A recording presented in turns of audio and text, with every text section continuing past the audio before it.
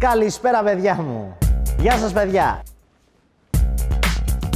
Η τεχνολογία για ακόμα μία φορά με βάλει στην πρίζα και σήμερα με τον υπερσύγχρονο φούρνο της Κάντι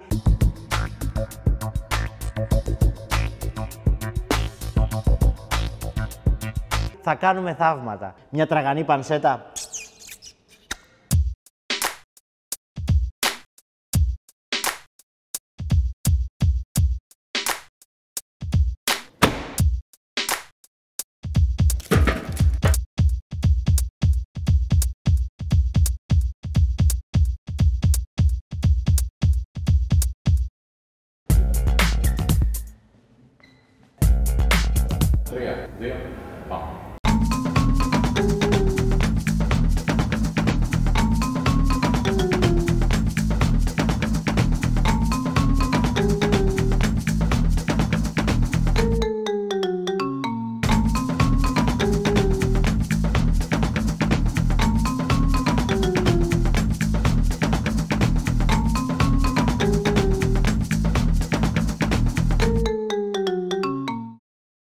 Και έτσι όπως έχω κάτσει σε αυτή τη σεξι πόζα, είμαι έξω από την κουζίνα και έχω ένα τάμπλετ.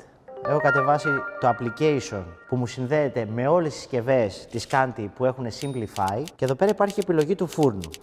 Πατάω φούρνος και μου βγάζει άλλες τρεις επιλογές. Το à la carte, το πατήσω και κοιτάξτε εδώ, με ρωτάει τι θα μαγειρέψω. Ας πατήσω εγώ ορεκτικά. Επόμενο. Τι μαγειρεύετε, λαζάνια, σουφλέ, σουφλέ. Επόμενο.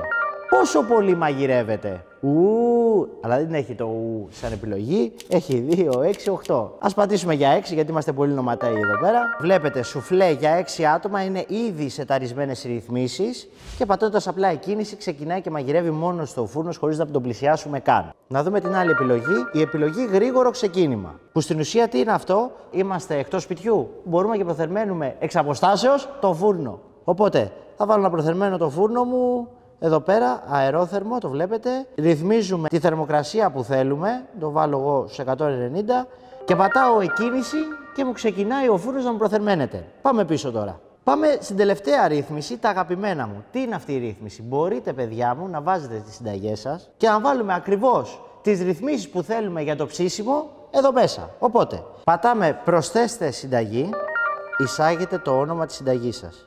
Τραγανή παντσέτα. Θέλουμε να το προθερμάνουμε στο γκριλ, παιδιά, γιατί θέλουμε να του κάνουμε μια κρούσα, θα σας εξηγήσω μετά. Γκριλ.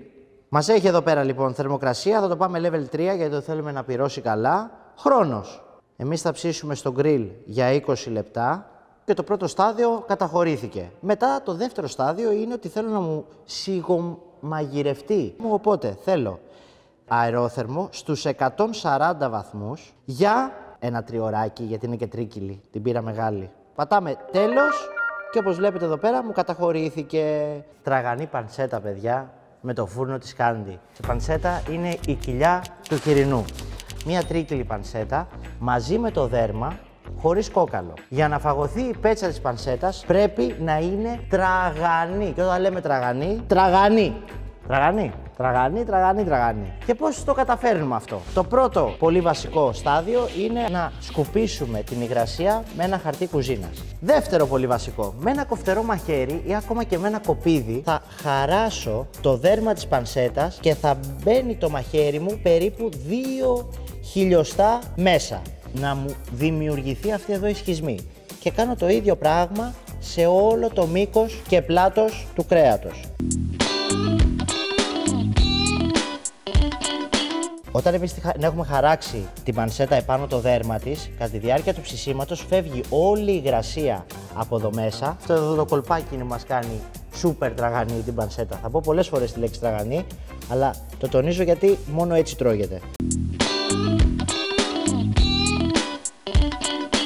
Και αφού λοιπόν την έχουμε χαράξει προς αυτή τη μεριά, πάμε τώρα να την χαράξουμε από την αντίθετη πλευρά και σαν να δημιουργούμε διαμαντάκια.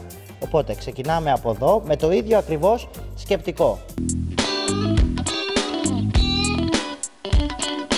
Το βλέπετε όλα τα διαμαντάκια να είναι ξεχωρισμένα το ένα με το άλλο. Γυρίζουμε την πανσέτα από την άλλη πλευρά, χαράσουμε και από εδώ. Από εδώ πέρα όμως γιατί χαράσω, χαράσω για να περάσω τη γεύση που θέλω. Θα το αλατοπιπερώσω και θέλω το αλάτι και το πιπέρι να μου περάσει μέσα. Οπότε, ηλιέλαιο. Βάζω ηλιέλαιο γιατί δεν μου καίγεται τόσο πολύ όπως καίγεται το ελαιόλαδος σε υψηλές θερμοκρασίες. Και δεύτερον, δεν θέλω να την κάνω πολύ βαριά. Αλατάκι, χοντρό, πιπεράκι. Γυρίζουμε από κάτω, αλατάκι, πιπεράκι. Ελάχιστο λαδάκι από την κάτω πλευρά.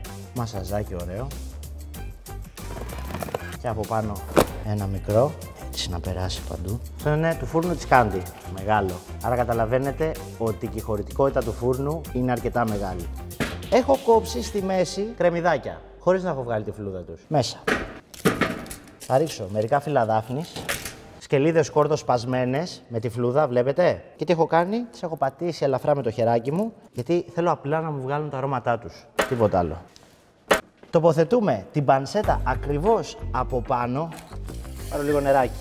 Το νεράκι το ρίχνω για δύο λόγους. Γιατί μου δημιουργεί κάπως σαν υγρασία μέσα στο φούρνο. Και δεύτερον για να μην κάθομαι και ξύνω το, τα ψήματα για καθαριότητα. Είμαστε έτοιμοι να ψήσουμε, αλλά θυμάστε στην αρχή τι είχα κάνει. Είχα βάλει ήδη τις λειτουργίες που θέλω για να ψήσουμε το, το κρεατάκι μου. Απ στο χέρι, τόσο τεχνολογία σήμερα, τόσο ρε παιδιά στο σεφ στην πρίζα. Οπότε, τραγανή πανσέτα, επιλογή, εκκίνηση, άναψε ο φούρνος. Φίλε, αυτό λίγο και πάμε να ψήσουμε την πιο τραγανή πανσέτα που έχετε δει και δοκιμάσει ποτέ σας.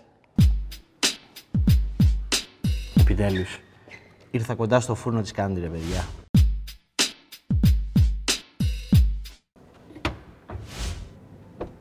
Ό,τι δύναμη και να βάλεις, όση δύναμη μάλλον και να βάλεις, θα κλείνει έτσι.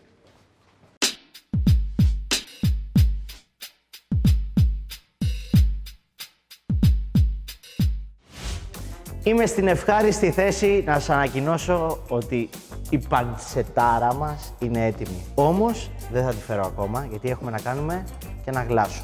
Το βάζω πάνω στην εστία.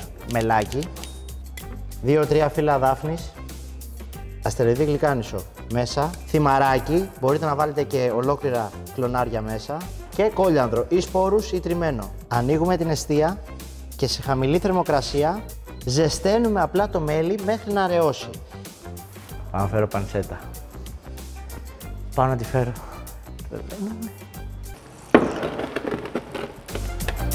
Και τώρα απλά ακούστε.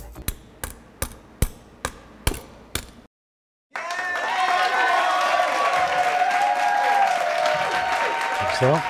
Και θέλω λίγο να σας κόψω λίγο την πετσούλα για να ακούσετε τι γίνεται.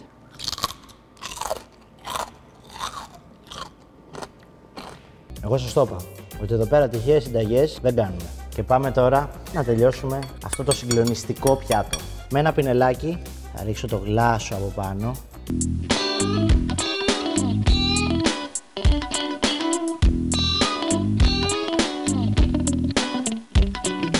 Και πάμε να κόψουμε. Εδώ κοιτάξτε. Μπορώ να δοκιμάσω λίγο. Να δω τι έφτιαξα ρε φίλε. Να δω τι θα φάει ο κόσμος.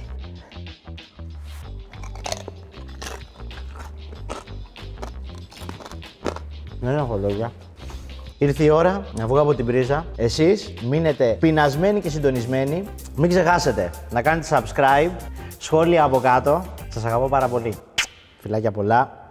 Αυτό το παίρνω για να το φάω μαζί με τη Χριστιανά εδώ πέρα. Ε, Χριστιανά.